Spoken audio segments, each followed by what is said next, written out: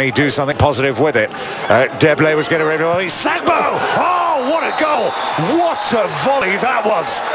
No chance, Toselli and the Ivory Coast lead. Thought you. Oh, oh, 22 years of age. He's playing with Monaco. Started one game last season. Well, there we see it again. Wonderful skill, wonderful technique. Nobody closed him down. And it's a rocket of a goal. And just to underline that, one game he started, 14 sub, he has never scored a league goal. It's unbelievable. Ever. Unbelievable, isn't it? You can't believe that a striker never would have scored a league goal, and yet in this competition, you're right, two goals, different type, and both of them super, superly well done, taken wonderfully. And this could be the end now. Four against two here.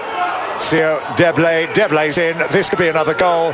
It is, and that is the end of that. Chile are out, the Ivory Coast are through, and they deserve it. Well, again, a wonderful goal. Perfectly timed run.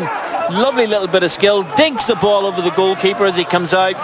Deblay has had a good game, and he timed that perfectly, perfected the skill. Second goal, game, set, and match. Chile going to be playing for third and fourth place. But I do believe the Ivory Coast today have been quite outstanding.